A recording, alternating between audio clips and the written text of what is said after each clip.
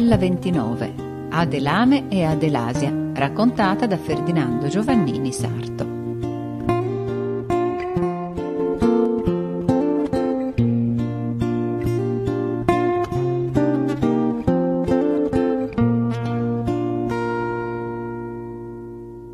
Adelame gli era un cavaliere a servizio d'un re e l'Adelasia gli era la figliola unica e bellissima di questo medesimo re.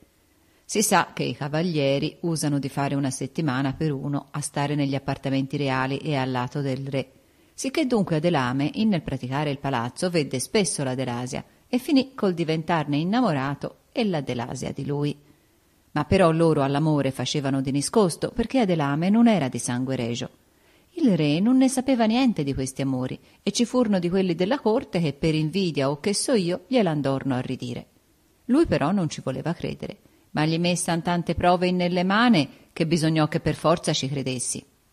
Che ti fa il re? Chiama l'Adelasia e gli dice I so che te discorri con Adelame. Dice lei. Che non è vero, signor padre, ha rispose il re. Eh, di quel che dico io ne sono sicuro e non vale negare.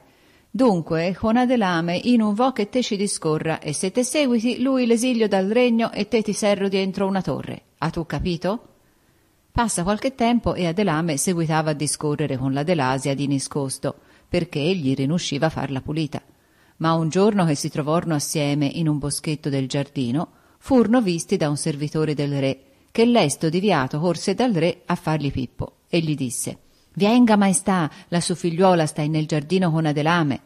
Il re subito andette con le guardie e sorprese quei due che non se l'aspettavano, e scramò Cavalieri, Tempo tre giorni non uscire da questo regno, pena la testa se disubbidite o ci ritornate più mai. In quanto poi a voi, figliola disubbidiente, anderete carcerata dientro la torre e a mi volontà. La ragazza fu menata via senza indugio dalle guardie e la serrorno in nella torre, a dove c'era una bella camera tutta mobiliata da regina e con una sola finestra di molto alta da terra. E in camera non ci poteva entrar nessuno, e anco da mangiare tutto quello che bramava alla figliola del re glielo devano per la rota. Il cavaliere Adelame dovette infrattanto, povero disgraziato, sortire dal giardino senza nemmanco dire addio alla sua Adelasia. Ne sci poi dalla città per andarsene fuori di stato e cammina cammina arriva a una campagna in dove c'erano di molti contadini a vangare. Dice Adelame Quale di voi vuole mutare i suoi vestimenti com'ia? Si farà a baratto. Io, io, dicevano tutti assieme perché non gli pareva vero di fare quello scambio. Dice Adelame, adagio, il baratto io lo farò con quello che ha dei vestiti che mi tornano addosso. Di fatto si mutò il suo vestito da cavalieri con un contadinotto che aveva il suo stesso personale e messosi a quel modo alla contadina, che non pareva più lui, seguitò a camminare di molti giorni, intanto che perviense a un'altra città fora dello stato del suo re tiranno. Guà, non è una cosa nuova, dappertutto le città ci si scontrano degli uomini che fanno il mestieri, come sarebbe a dire, di mezzano, ovvero sia di sensale a trovare impieghi a chi ne vuole. Sicché un di quest'uomini, quando vede Adelame girottolare qua e là per le strade e per le piazze, e s'accorgette che lui era forastiero, gli s'accostò e gli disse Oe, quel giovane che vi mancherebbe un impiego? Io son buono a trovarvelo se vi garba. Ah, rispose Adelame, e non mi parrebbe vero, appunto io son disoccupato dice il mezzano. E che sapete vo fare? Di tutto, dice Adelame. Dice il mezzano. Bene, bene, c'è appunto una signora che gli manca l'ortolano e i giardinieri, e forse lei sarebbe contenta d'avervi al suo servizio. Ora vo subito a sentirla, e voi aspettatemi qui. Il mezzano va, picchia e lo fanno passare dalla signora, e per non la render tanto stucca, gli dirò che presto si trovarono d'accordo di pigliare Adelame al suo servizio. Dunque, anco Adelame andiede da quella signora a presentarsi. E lei appena lo vede gli domandò Come vi chiamate? Dice Adelame Io mi chiamo Antonio, perché il suo vero nome non glielo volse manifestare per non essere scoperto. E quanto volete voi di salario a farmi da ortolano e da giardinieri? gli domandò la signora, e lui rispose In quanto al salario, lei prima mi provi per un mese, e io proverò lei. E dopo, se si resta contenti tutta e due, combineremo che non ci sarà nulla da ridire. Sì, sì, come vi garba, dice la signora. Poi dalla mancia al mezzano e mena Antonio, ovvero sia Adelame, che s'era appiccico quel soprannome, nell'orto e giardino. Che frasconaia! Pareva un serpaio, tanto gli era trascurato e tutto in disordine. Adelame ci si mettiede con l'arco della stiena e tanto lavorò che in pochi giorni il terreno e le piante era una maraviglia a vederle. E in capo a tre settimane ci raccoglie di molta roba prematiccia, come insalate, cetri, limoni e fiori della stagione. Adelame pigliò ogni cosa e andiede dalla padrona e gli disse Se lei me lo permette, i vo a vendere in campagna tutte queste delizie, dice la signora. Va, vai pure. Dunque Adelame con un corbello e dietro la sua mercanzia ne uscì fuori delle porte in campagna e a cinque o sei miglia di distanza trovò un paese e lì ci vendette tutto e col corbello vuoto ritornò a casa e si presenta alla signora. Padrona, d'ecco i quattrini che ho preso della vendita e gli mette in mano una ventina di lire. La signora rimané. Lei non aveva mai ricavo nulla da quel terreno, sicché a quella vista scramò Bravo, io son proprio contenta di te. E però io ho deliberato di darti questo salario, lire trenta al mese e tutto spesato. Che te ne pare? dice Antonio. Io per me son più che contento.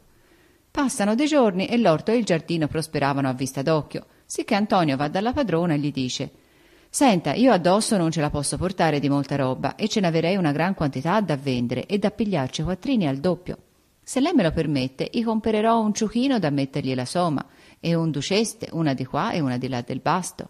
Io potrei caricarlo a mio modo, dice la signora. Fa pure. Antonio dunque comperò un ciuco piccino e gli accomidò la ceste al basto, che poi ripianò d'ogni ben di Dio, e ci aggiunse anche un bel mazzo di fiori. Dopo sortì al solito fuori delle porte della città e camminò di molti giorni sino a che viense a ne entrare in nello stato del re e diviato se ne andiede alla sua propria città nativa e lì comincia a urlare. Ortolano, eh, chi vuole di becavoli, pera, limoni primaticci e d'ogni cosa un po'? A quel bocio la gente corriva da tutte le parti e chi voleva una cosa e chi un'altra. Quando Antonio fu in sulla piazza del Palazzo Reale, lì sì che sbergolava, sicché a quegli urli deccoti anco il coco del re, che in senza tanti discorsi prese tutto il carico. Dice Antonio, e lei chi è? Deve essere un gran signore.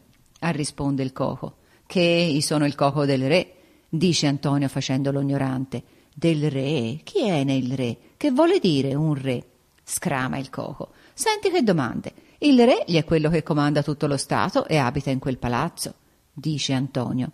Come? In quel palazzo con tutte quelle finestre lui ci sta solo? dice il coco. Già, ci sta lui solo. Lui per codesto avrebbe anche una figliola, ma siccome lei faceva l'amore di nascosto con un cavalieri che non era di par suo, il re suo padre l'ha serrata in una torre e non si pole né vederla né parlargli. Scrama Antonio. Povera ragazza, con che animo lei starà lassù dentro serrata? Figuratevi, rispose il coco, dice Antonio. Tienga, gli voglio dare questo bel mazzo di fiori, a lei che ha compero tanta roba. Gua, se crede lo mandi a quella sventurata. Eh, questo si potrà anco fare, disse il coco. Dunque addio. Addio e arrivederci, rispose Antonio, e ognuno se ne andiede per i suoi versi.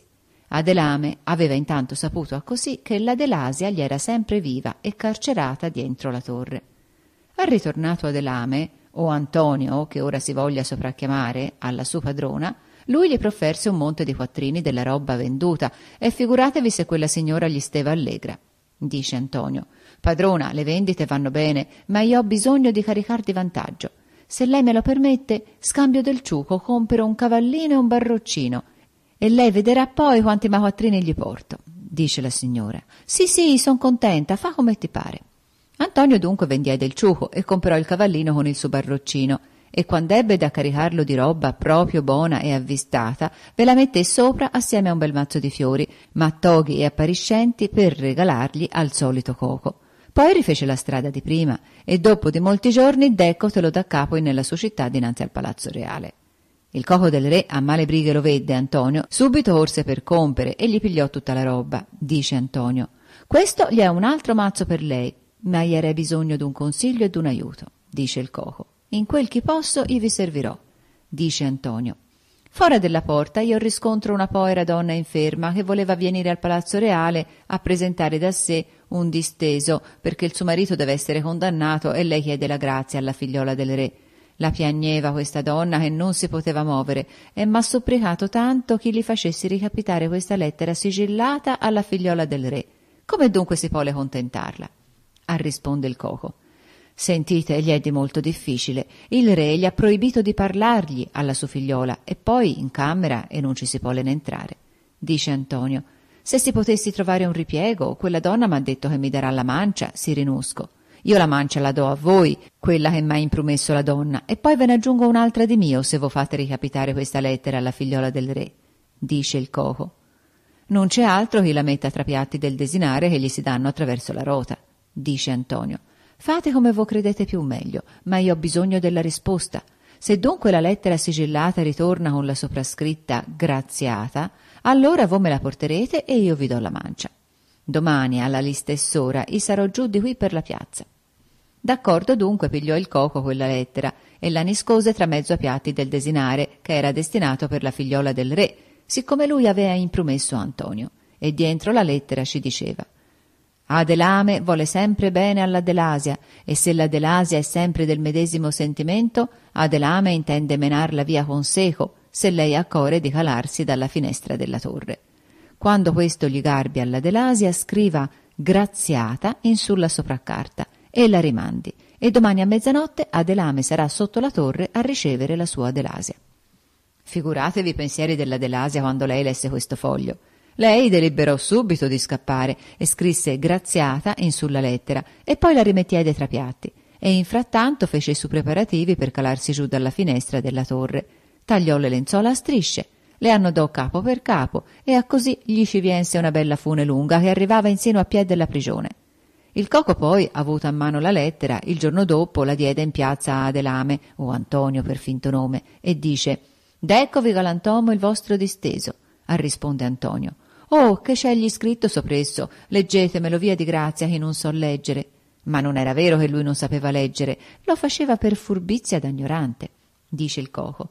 Qua e ce n'è scritto graziata.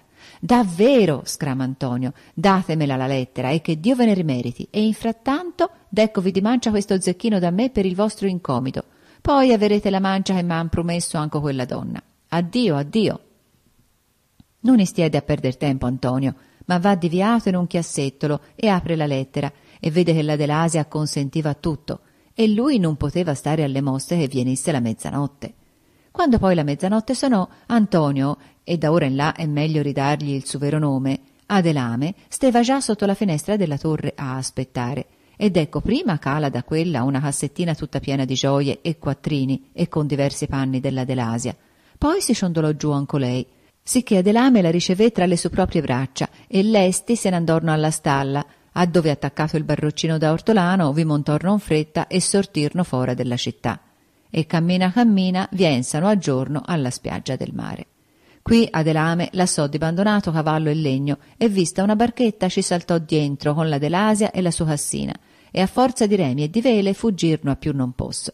Ma dopo un pezzo che loro erano in mare, d'eccoti principio una fiera burrasca, sicché que poi rinnamorati gli ebbe andicatti se furono spinti a un luogo deserto, che non ci si vedeva un'anima viva.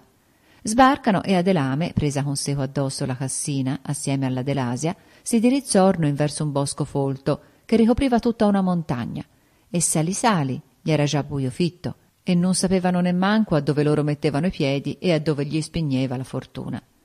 A un tratto gli parse di scorgere un lume da lontano e s'avviorno per laggiù e dopo un po' di tempo arrivano a una capanna di frasche che dietro c'era un eremita vecchio in ginocchioni a fare orazione e con una barba bianca lunga lunga che gli scendeva in sul petto. Dice Adelame Abbiate, padrino, la finezza di ricoverarci questa notte. Non siamo due smarriti e non si sa in dove battere il capo. Alza gli occhi l'eremita a quelle parole e guarda Adelame e la Delasia e poi scrama. Sciaurati, che avete vo fatto? Rimasero sbalorditi i due amanti e come di sasso nel sentire un simile saluto. Ma l'eremita seguita a dire Sciaurati, vo siete in peccato, vo avete trasgredito alla legge umana e alla legge divina alla legge umana perché disubbidisti al padre e al re, e sappiate che il re vi fa cercare dappertutto per darvi la pena di morte, alla legge divina perché voi siete assieme in senza essere moglie e marito. Quei due allora, tutti impauriti, gli si buttano a piedi e lì a scongiurarlo l'eremita, che gli aitasse in qualche mo, che oramai il male gli era fatto e non c'era più rimedio. Dice l'eremita, ma che veramente volete voi essere sposi? risposano assieme. Sì, sì, sposi e per sempre. Ebbene, dice l'eremita, e vi sposerò io, e per questa notte vi darò il ricovero, ma domani bisogna che andiate via perché qui con meco voi non ci potete stare. Allora l'eremita gli sposò e gli benedisse e gli mettiede a dormire in su delle foglie in un canto della capanna. E quando poi fu giorno, Adelame e l'Adelasia dovettano dilontanarsi, dopo ricevuta un'altra nuova benedizione dall'eremita. Ora gli è tempo di sapere che infrattanto al palazzo reale gli era niti a portar da culizione alla rota della camera della Delasia, ma la culizione era sempre lì ferma al momento del desinare. Impauriti i servitori vanno subito dal re e gli raccontano quel che è successo. A questa nova il re ordinò che la camera s'apra per vedere se la sua figliola ha male. Ne entrati però dentro, tutti si accorgono che la ragazza gli è scappata via e che non c'è più Nimo. Figuratevi, il re montò sulle furie che pareva un cane arrabbiato, perché lui capì che la Delasia gliel'aveva menata con seco ad Elame, sicché mandò soldati per ogni logo dello Stato a cercarne, e mettiede fora un bando che gli fussero riportati quei due o morti o vivi, non gli importava, tanto lui gli voleva in ogni mo ammazzati. Dunque, a male brighe che Adelame e la Delasia seppano del bando e nella capanna dell'eremita, badorno di scansare i confini dello stato del re e seguitorno a camminare di molti giorni, campando alla meglio con il vendere le robe della Delasia, e dormivano per le capanne, fino a che si trovarono da ultimo in un luogo salvatico e deserto, in vetta a un monte che pianeggiava in sul cupuzzo. Lì risolverono di fermarsi. Adelame ci rizzò una capanna e scoperto che a qualche miglio più giù nella vallata c'era un paesuccio, si mettiedi a tagliare legne e a far carbone e poi scendeva a venderlo per comprarci il necessario al campamento. Da più mesi oramai quegli sposi abitavano su quel monte quando la Delasia s'accorgé d'esser gravida e al suo tempo parturì un bel mastio e se lo battezzorno con le proprie mani e gli messe a nome Germano. E Germano cresceva a vista d'occhio, vispolo e giudizioso e quando fu negli otto anni il suo babbo se lo menava con seco al bosco e poi col carico delle legne o con le balle del carbone a vendere ogni cosa al paesuccio. Arrivò a diciotto anni e lo mandava anco solo. Dice un giorno Germano Babbo, perché non comperate un ciuco per portar la soma? Si durerebbe meno fatica e si potrebbe anche fare un carico più grosso. Dice Adelame, compriamolo pure. E a così comprarono un ciucarello di poca spesa e con quello scendevano a vendere nel paesuccio. Un giorno Germano col ciuco carico se ne andiede da sé solo al paesuccio e a un tratto incontra un uomo che aveva in mano una gabbia con dietro un uccellino raro. A Germano gli viense voglia di quell'uccellino, sicché dice Galantomo, che me lo venderesti codesto uccellino? Magari, quell'uomo gli rispose. Oh, quanto ne volete? Oh, si fa lesti, gli vuoi il ciuco con tutto il carico. D'accordo, scrama Germano, e gli dà il ciuco con tutto il carico e piglia in scambio l'uccellino con la gabbia. Poi ritorna diviato a casa. Quando la sua mamma lo vede, disse Oh, del ciuco che n'ha tu fatto? A dov'è? dice Germano. Badate, il ho barattato, la somma e tutto, con un uomo, e lui m'ha dato in scambio questo bello uccellino in gabbia. Oh, sciaurato, scramò la Delasia, quando torna il babbo dal bosco e sa il tuo operato, t'ammazza di sicuro. Germano, a quelle parole della sua mamma, si impaurì, sicché, lassata la gabbia con l'uccellino, ne scì dalla capanna e via, all'avventura a dove lo portavano i piedi. Ma la Delasia credeva che lui sito a riscontrar suo padre Decotin sulle ventiquattro viene ad Elame e la Delasia gli domanda Germano a dove la tullasso? E non l'ho visto da stamane in qua, gli rispose Adelame. Oh, povera me, scramò la Delasia, a dove sarà ito mai? E l'ho gridato un po' perché lui ha dato un baratto di quest'uccellino in gabbia, il ciuco col carico e tutto, e gli ho detto che se te tornavi te l'aresti ammazzato di sicuro, e lui allora è fuggito, e gli credevo che fossi venuto a riscontrarti. Oh, me sciaurata, a dove sarà ito il mio figliolo?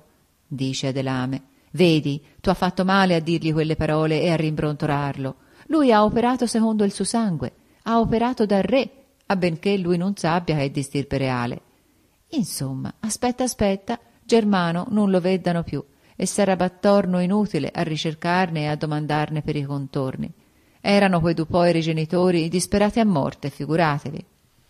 Ma lasciamo Adelame e la Delasia fra mezzo a pianti e alla scherezza e si va da Rieto a Germano. Lui camminò di molti mesi e campava in sulle limosine e finalmente arrivò, in senza saperlo, alla città del re suo nonno. E siccome gli era vestito tutto con la pelle di bestia salvatica e pareva una stranezza, tutta la gente gli si faceva d'attorno per conoscere chi era e da che paesi veniva, se era solo o puramente se lui aveva il babbo e la mamma.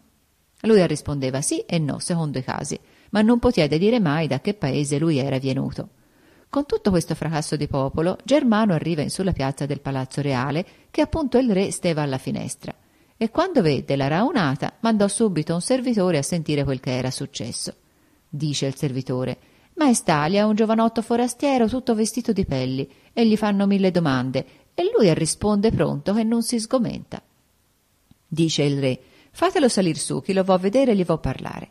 Il servitore, ubbidiente, va e chiama Germano e lo fa salire alla presenza del re.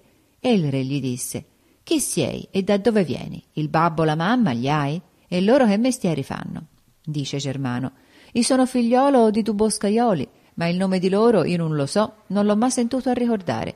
Io mi chiamo Germano e io sono figliolo unico e son fuggito da casa e cammina cammina mi sono sperso. Non so nemmanco in che paese io ero dice il re. Vo tu stare al mio servizio? dice Germano. Sì, volentieri, perché fino a ora io ho campato con la limosina. A farla corta Germano fu messo per mozzo di stalla e dopo qualche mese lui passò aiuto del coco, poi divense credenzieri di corte e il re gli deva un buon salario. Ma lui ci s'era annoiato lì e un giorno disse al re Senta, maestà, io me ne vo ire perché a servire a così m'annoio. Dice il re Ma come mai? Eppure io ti do un buon salario e non ti manca nulla. Tant'è, risponde Germano, che vuole? Io non posso durarla a questo mo. Dice il re. Ma che faresti volentieri qualche altra arte? Dice Germano. Per dire il vero, mi garberebbe la vita del militare. Dice il re. Io ho da accontentarti a tuo piacimento. Ne entra nell'esercito e addio. Dunque Germano ne entrò soldato comune nell'esercito e in pochi anni divense maggiore e quando fu maggiore un giorno il re lo fa chiamare e gli domanda Dimmi un po', Germano, ma che a tuoi genitori non ci pensi mai? Non t'egli mai venuto in capo di ricercarli? Altro, maestà, gli è il pensieri mio d'ogni momento, rispose Germano, ma io non so che strada prendere per ritrovarli, questi miei genitori. Dice il re, piglia quel che t'ha bisogna e va a vedere se tu li trovi, e se tu li trovi, menamegli qui. Germano dunque, avuto il permesso del re, trascelse a suo fido compagno un vecchio capitano, e tutt'e due montati a cavallo sortirono per tempo la mattina dalla città. Dice il capitano, ma sei sicuro, Germano, che questa è la porta da dove la prima volta te ne entrasti in questa medesima città? Sì, sì, ne sono sicuro e non mi sbaglio di certo, gli rispose Germano. Camminorno di molto tempo, de mesi, e finalmente Germano e il suo compagno arrivano a un luogo deserto e salvatico a piede una montagna e non c'erano viottoli per rinoscire su. Sicché dice il capitano: A me mi pare che te scambi la strada, o non vedi che non c'è modo di rampicarsi per il bosco. E poi non siamo proprio per un deserto salvatico, dice Germano. A bene che da tanto tempo, e tavia mi pare che questi sono i posti che attraversai nel fuggire da casa, dice il capitano. Gua, e sarà ma gli dico che te ha scambiato. Germano in un istante principiò a salire su per il monte e il capitano gli andeva dretto alla meglio. E sali sali arrivò non vetta. Scrama Germano, d'eccoli son proprio i miei posti e la capanna dei miei genitori, d'eccola in fondo laggiù in questa spianata. La Delasia, in quel mentre, era lì a raccattar delle foglie e quando vedde quei due soldati si sconturbò tutta perché lei credeva che fussan venuti per arrestarla e gli parse proprio di scorgere tutta l'effigie del suo babbo e impaurita corse dietro alla capanna, ne serrò l'uscio in furia e cadette stramortita per le terre. Germano, che aveva riconosciuto Sumà, gli si mettiede a tacchi con il cavallo al trotto e di fora urlava Mamma, mamma, io sono io, sono il vostro figliolo Germano, che non mi riconoscete, aprite e non avete paura. Ma quella che, lì svienuta, non rispondeva, sicché Germano con un calcio buttò giù l'uscio e prendette la Delasia tra le braccia e badava a chiamarla e a dirgli che la stasse di buon animo e che lui gli era il suo figliolo. La Delasia finalmente soccallò gli occhi e guardava ben bene Germano e poi disse Sì, ti riconosco, ma tu m'ha tradito, dice Germano. Perdonatemi, ora io son qui da voi per condurvi dal re assieme col babbo. E la Delasia piagnendo. Lo vedi? Sì, lo dico che tu m'ha tradito. In questo mentre deccoti anco Adelame che ritornava dal bosco e nel vedere quei soldati anco lui si credette che fussero venuti lì per arrestarlo, sicché si buttò in ginocchioni a domandare pietà per lui e per la moglie.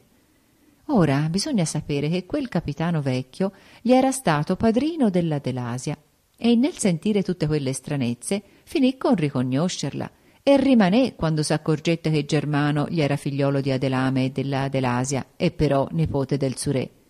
Dunque ne entrò di mezzo anche lui e si manifestò e fece tanto che Adelame e l'Adelasia s'addomestichirono e la paura principiò a andargli via d'addosso e anzi si lasciarono persuadere a tornar tutti alla città dal re e messo assieme la po' di roba di valzente tenuta nella capanna la brigata s'avviò al suo destino. Arrivi che furono, il capitano dapprima fece entrare Adelame e la Delasia in nel palazzo reale per una scala segreta e gli mettiede in una camera in disparte. Poi con Germano si presentò al re. Dice il re, bentornati, che li avete scoperti i genitori di Germano. Non me li avete menati come ordinai? Dice Germano. Trovati gli ho, ma che vuole maestà? Loro sono gente avvezza al bosco e mezzo salvatichi e non son volsuti venire con meco. Male, male, avete fatto di molto male a non gli condurre con voi, scramò il re mezzo scorrucciato. Dice il capitano, senta maestà, il vero è che quei due son venuti con noi, ma io non glieli presento davvero se prima lei non mi concede una grazia della vita di tre persone. Dice il re maravigliato, che domanda è ora questa? E il capitano, a lei, maestà, non gli costa nulla questa grazia e me la vuole fare addirittura.